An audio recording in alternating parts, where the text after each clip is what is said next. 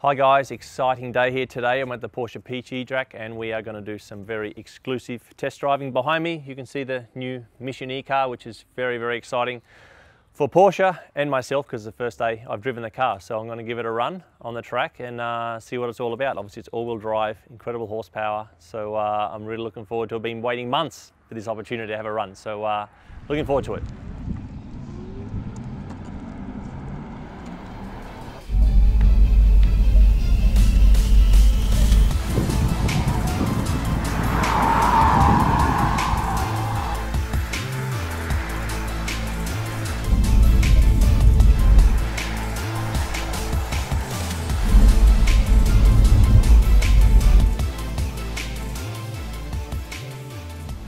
Fair to say, as usual, they've done a good job.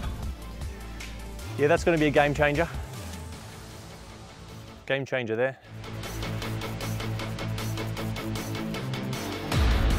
So, test drive complete, and I must say, uh, as expected, very much a, a, gorgeous piece of machinery. The guys done an incredible job. Uh, it reminded me at times a lot of the 919 because often we could drive this car just on, on e-motor alone and, and uh, on the electromobility side. So uh, a lot of what I say is stealth emotion, stealth performance. Uh, it's absolutely clearly a Porsche. Looking over the front wheel arches looks like a 918 as well. So uh, ergonomics and the view from side the cockpit is absolutely gorgeous.